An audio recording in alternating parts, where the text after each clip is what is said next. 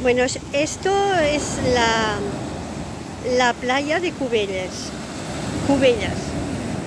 Aquí se respira en estos momentos tranquilidad. Lo que pasa es que en este trozo de mar está un poquito alborotada. Pero mirad, como no hace sol, pues la gente hoy no está por la playa.